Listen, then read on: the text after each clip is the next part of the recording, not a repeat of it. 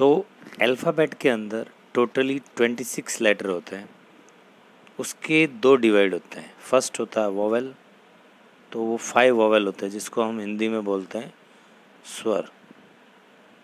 और कॉन्सोनेंट को हम बोलते हैं व्यंजन कॉन्सोनेंट तो ट्वेंटी सिक्स लेटर में से फाइव तो वोवेल होते हैं, और ट्वेंटी वन जो होते हैं वो कॉन्सोनेंट होते हैं। वोवेल कौन कौन से होते हैं? A E I, O and U. ये फाइव वोवेल होते हैं। और बाकी जो बचते हैं, वो सारे के सारे कॉन्सोनेंट के अंतर्गत आते हैं। अब हम बात करते हैं आर्टिकल्स की। तो आर्टिकल्स में हम सबसे पहले बात करते हैं एन का यूज़ ऑफ़ एन एन का प्रयोग। यानी use of an article an का प्रयोग कहाँ होता है और कैसे होता है? एक चीज़ ध्यान रखना एन का प्रयोग कहाँ करते हैं? इसमें दो बातें आपको ध्यान रखनी है। फ़र्स्ट अगर आप फिफ्थ तक की क्लास के बच्चे हैं फिफ्थ क्लास तक के बच्चों को वोवेल, यानी ए, ई, आई, ओ और यू से अगर कोई भी वर्ड स्टार्ट होता है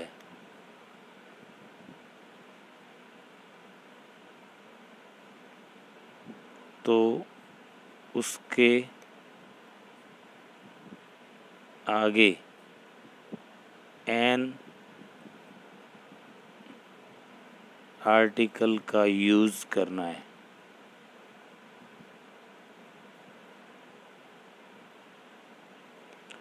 क्योंकि उन्हें जो होता है, हिंदी वॉवल के बारे में पता नहीं होता है।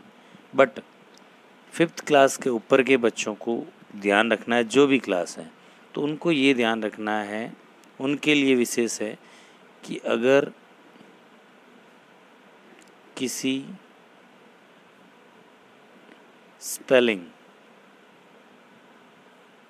स्पेलिंग का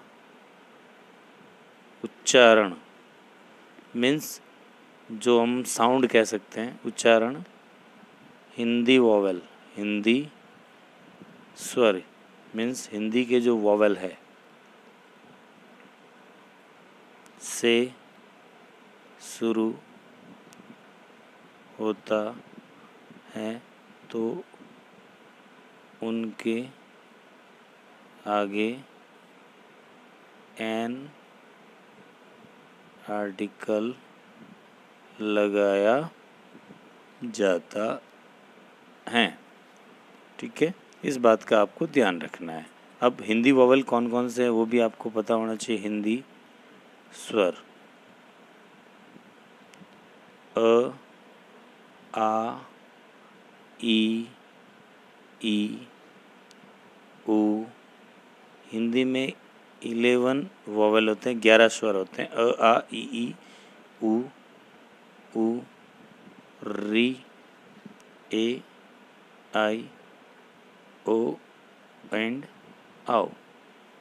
तो इन बातों का आपको ध्यान रखना है कि अगर आप छोटी क्लास के बच्चे हैं तो मोस्टली उनके लिए सीधा सा है, अगर कोई भी spelling A E I O U vowel से इंग्लिश वॉवल से शुरू होती है तो उसके आगे एन आर्टिकल लगाया जाता है। एग्ज़ाम्पल के तौर पे अगर हम देखना चाहें तो जैसे एग्ज़ाम्पल लेते हैं डॉट डॉट डॉट मैंने लिखा दिया A P P L E apple तो इसमें देखो ए जो है वॉवल है तो इसके आगे हमारा आएगा एन आर्टिकल फिर हम बात करते हैं ई जी जी एग तो अपना आ जाएगा एन एग क्योंकि ई e वॉवल है।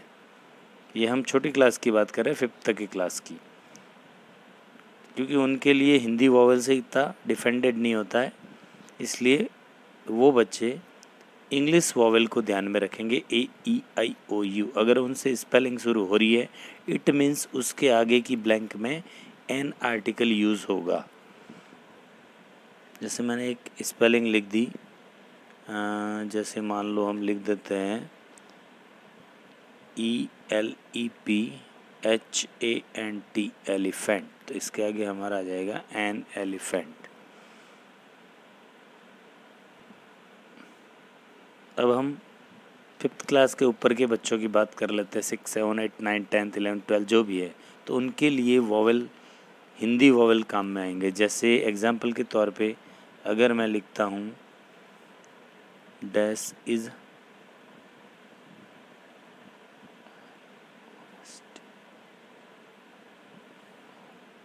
ऑनेस्टी। तो इसको अगर हम, जैसे मैंने ऊपर भी बताया, अगर हम इसको वॉवेल के हिसाब से देख कर करने की कोशिश करते हैं तो हम ये कह सकते हैं कि इसमें English vowel A E I O U नहीं है।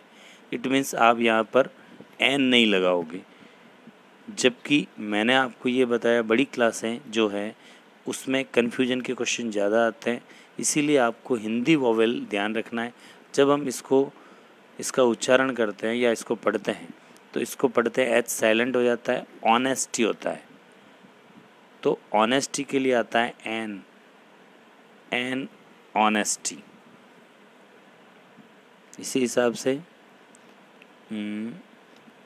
O R A N G ई तो हम इसको पढ़ते हैं तो इसमें आता है ऑरेंज तो यहाँ पे आएगा एन ऑरेंज एक जैसे हमने लिखा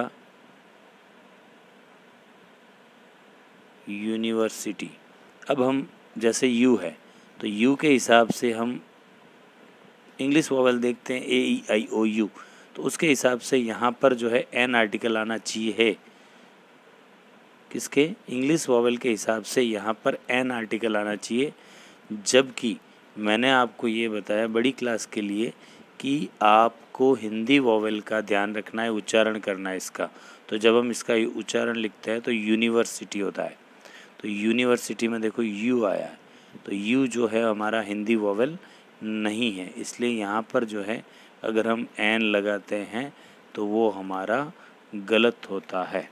तो इस बात का आपको ध्यान रखना है। तो इस प्रकार एन वोवल लगाने का सीधा सा तरीका है।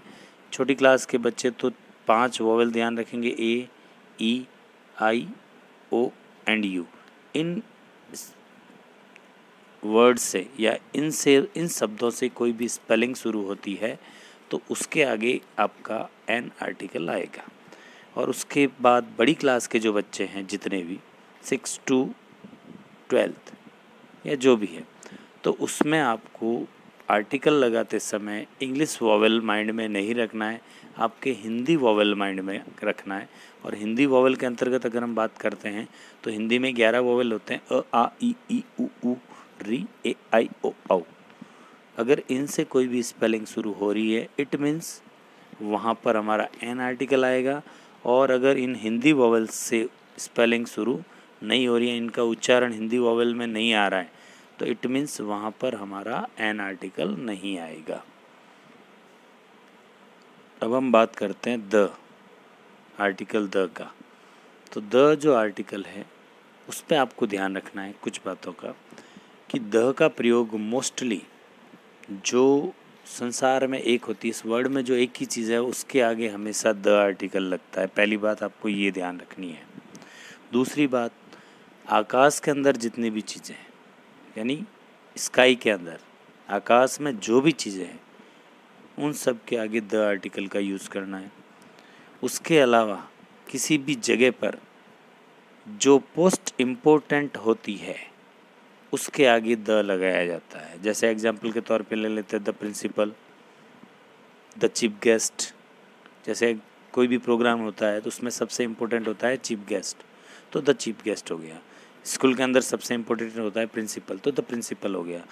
The chief minister the prime minister the president तो ये मोस्ट ऑनरेबल पोस्टें हैं। तो इनके आगे हमेशा द आर्टिकल यूज़ होता है। इसके अलावा हॉली बुक्स है जितनी भी।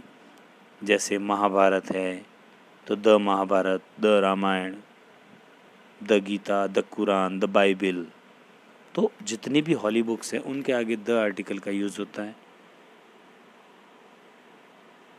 और मोस्टली विशेष नाम, अखबारों के नाम के आगे ट्रेंड्स के नाम के आगे स्पेशली जो एक ही के लिए बने, यानी एक ही चीज़ के लिए बने हैं, उनके लिए हमेशा द आर्टिकल का यूज़ होता है। जैसे the Rajasthan Patrika the Dainik Bhaskar the Suryanagari express the Chennai express तो द का प्रयोग मोस्टली उन ही चीज़ों के आगे यूज़ किया जाता है जो वर्ड में एक ही होती है या इम्पोर्टेंट होती है मोस्ट होती है। और एक बात और ध्यान रखनी, अगर आपकी नज़र में आप किसी जगह बैठे हो और आपको कोई चीज़ लगे कि वहाँ एक ही नज़र आ रही तो उसके आगे भी द आर्टिकल यूज़ होता है। जैसे आप क्लास में गए टीचर आए। तो वहाँ पर आपका जो आर्टिकल लगेगा वो द आर्टिकल लगेगा द टीचर द मॉनिटर ठीक है ना? तो इस बात का आपको ध्यान रखना है। इम्पोर्टेंसी या मोस्ट इम्पोर्टेंट पोस्टेज के आगे भी द आर्टिकल का यूज़ किया जाता है। अगर हम इसके एग्ज़ाम्पल समझना चाहें तो तो देखो कुछ इसके एग्ज़ाम्पल हैं। प्रिंसिपल तो द प्रिंसिपल प्राइम मिनिस्टर तो the prime minister earth the earth sun the sun star the star Rajasthan Patrika अखबार का नाम है द राजस्थान पत्रिका सूर्य नगरी एक्सप्रेस तो द सूर्य नगरी एक्सप्रेस इस तरह से आपको द का यूज़ करना है। इसके अलावा, जहाँ पर एन और द दोनों का यूज़ नहीं होता है, वहाँ पर आपको ए आर्टिकल का यूज़ करना है। तो जहाँ पर ए और एन एन और द आर्टिकल यूज़ नहीं होता है, वहाँ पर आपको कौन सा आर्टिकल यूज़ करना? ए जैसे मैंने लिख दिया डॉग तो क्या आएगा? ए डॉग अ डॉग है ना? फिर लिख दिया मैंने कैट तो अ कैट फिर मैंने लिख दिया मैन तो अ मैन ठीक है ना? तो इस तरह से आपका कोई भी एग्ज़ाम्पल है, जहाँ पर एन आर्टिकल यूज़ नहीं हो रहा है, जहाँ पर द आर्टिकल यूज़ नहीं हो रहा है, वहाँ पर आप ए आर्टिकल का यूज़ करोगे। अब कुछ चीज़ें ऐसी है जहाँ पर किसी भी आर्टिकल का यूज़ नहीं किया जाता। न वहाँ पर ए लगता है, न वहाँ पर एन लगता है और न वहाँ पर द लगता है। फ़र्स्ट है लिक्विड लिक्विड के आगे कभी भी कोई आर्टिकल नहीं लगेगा, जैसे मिल्क हो गया। कोई आर्टिकल यूज़ नहीं करना है। ऑयल हो गया। ठीक है ना? तो लिक्विड के आगे किसी प्रकार का कोई आर्टिकल यूज़ नहीं होता है। दूसरा दूसरा किसी चीज़ से कोई खाने की चीज़ बना रहे हैं तो उसके आगे भी कोई आर्टिकल यूज़ नहीं होता है। डायरेक्ट खा रहे हैं, तब तो ठीक है, लेकिन अगर उससे कोई चीज़ बना कर खा रहे हैं, जैसे गेहूँ से रोटी बना दी ब्रेड बना दी तो इस तरह के आगे आर्टिकल यूज़ नहीं होता है। लेकिन आप जैसे एप्पल, खाने की चीज़ है लेकिन आप डायरेक्ट खा रहे हो, एन एप्पल हो गया। ठीक है? तो इस बात का आप ध्यान रखेंगे। तो आज का मेरा ये जो टॉपिक है आर्टिकल कम शब्दों में सटीक मैंने समझाने की कोशिश की है। उम्मीद करता हूँ आपको अच्छा लगा होगा और आपको समझ में भी आया होगा। तो आप मेरे इस वीडियो को लाइक करें, शेयर करें और सब्सक्राइब करें। इसी आशा व विश्वास के साथ जय हिंद, जय भारत।